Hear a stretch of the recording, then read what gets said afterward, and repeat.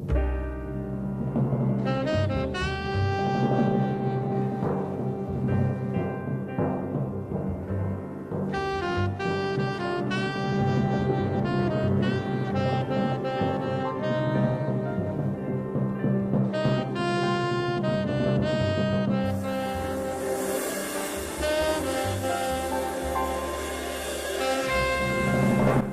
una de las obras que más me ha, me ha, impactado, no sé si la palabra es impactado, pero que me ha, me ha remecido y me ha producido cosas, eh, es, una, es una obra que puede, puede ser como un lugar común a lo mejor para, para algunos, pero para mí no la encuentro como una obra muy, muy exquisita, eh, muy, muy delicada y es, es, es El viejo y el mar de Hemingway cuando, cuando leí ese libro ya había pasado por otras lecturas.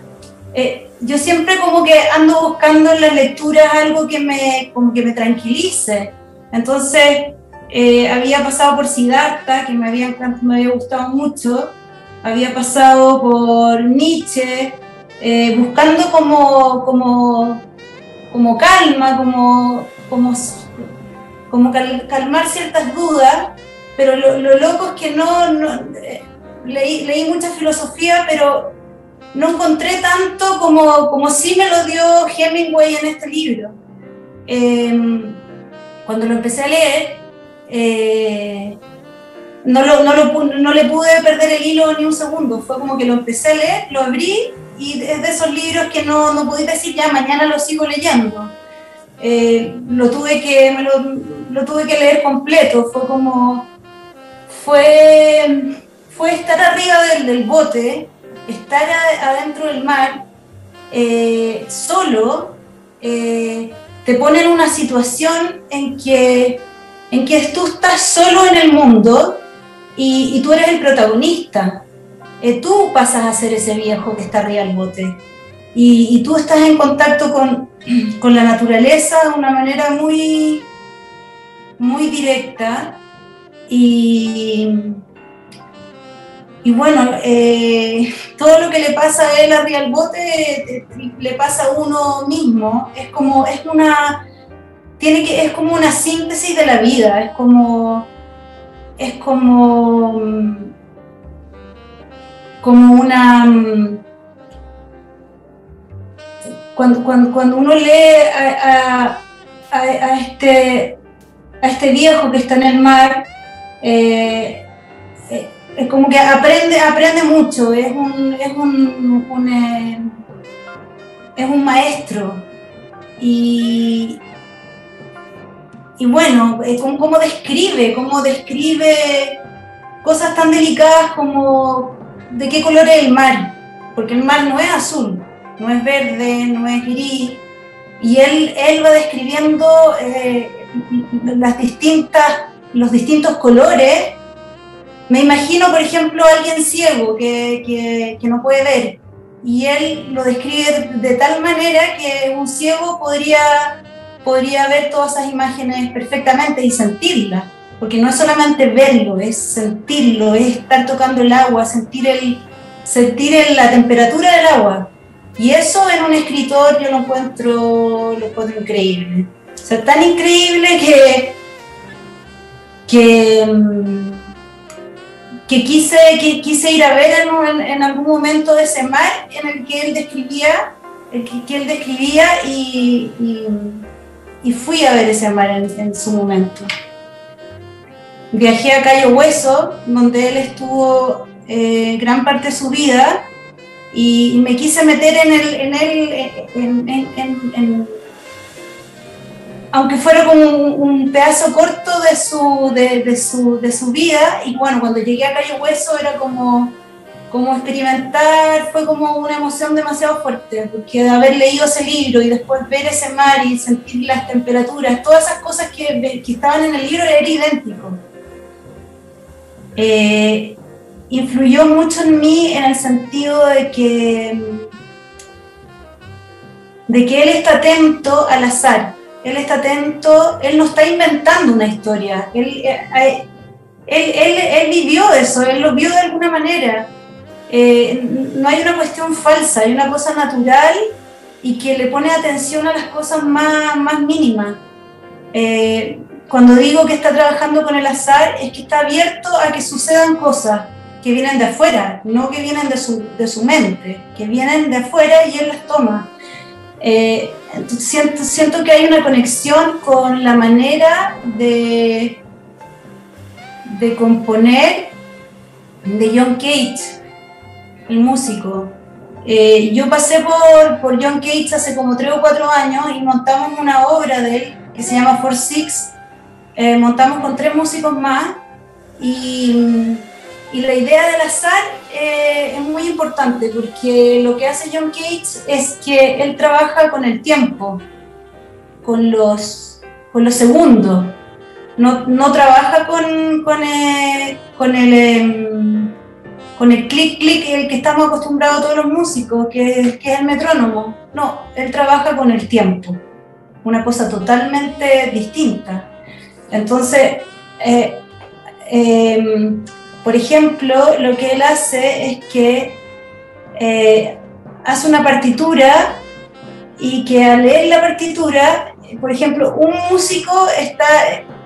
Eh, un músico elige tres, tres sonoridades. Por ejemplo, una sonoridad es dejar caer los anteojos.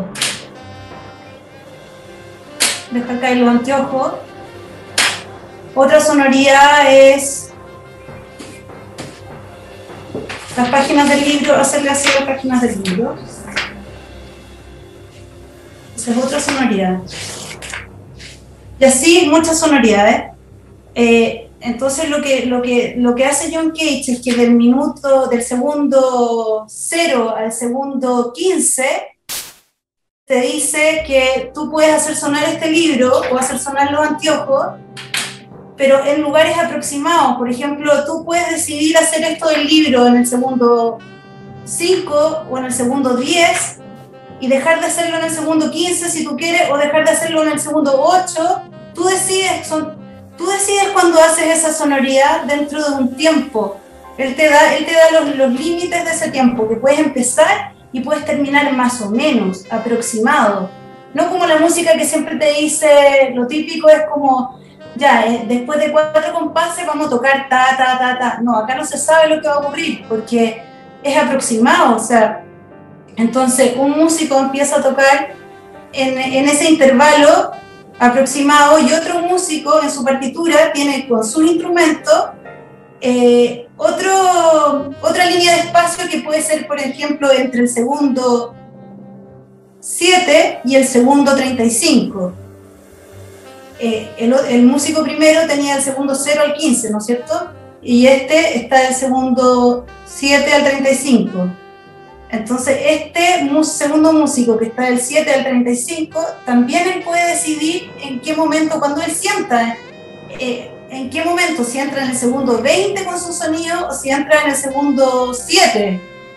Y si entra en el segundo 7 y el primer, el primer músico está, está ya, ya decidió tocar su, su dejar de caer los, los anteojos, en el segundo 7 también, se junta esa sonoridad del primer músico con el segundo músico justo en el segundo 7 y se produce una cosa azarosa que, que, es impresionante, que es increíble, que es, es la naturaleza, es, es, como, que, como que se empieza a hacer una música sola, no la está haciendo el intelecto, o sea, sí la está haciendo el intelecto porque, porque la partitura es súper, eh, está, dentro del, del reloj, eh, pero está, está nadando en, un tiempo indefinido y, y, y, bueno, lo que está haciendo John Cage ahí es, está llevando el universo a la partitura, o sea, está llevando todo lo que nos pasa a nosotros, porque siempre nosotros estamos metidos adentro de la música. Cuando pasa una micro, está esperando, está ahí en la calle, pasa una micro rajado, y después, tres segundos después, pasó una persona, señora caminando con tacos y metió unos ruidos, tic, tic, tic, tic, tic. Y más allá se escucha un bocinazo y, y, y, más, y después se escucha un sonido de gente conversando acá al lado. Y todo es, eh, eh, aparece en, cualquier momento, no, es algo que uno puede decir, ahora va, va, a pasar esta señora caminando y ahora va a pasar la micro. No, nosotros no sabemos nada, nosotros nos vamos encontrando con esto. Entonces, lo que hace John Cage con eso es que le saca una foto a la vida real y la lleva y, logra hacer una música que es como que la estuviera haciendo el universo, no el ser humano. Y entonces siento que Hemingway hace un poco lo mismo. Trabaja también con el azar. Y en el azar, en el azar hay verdad, hay, hay sorpresa y hay sobre todo eh, una cosa que yo la encuentro muy importante, que es que no está el ego, el ego, el ego humano.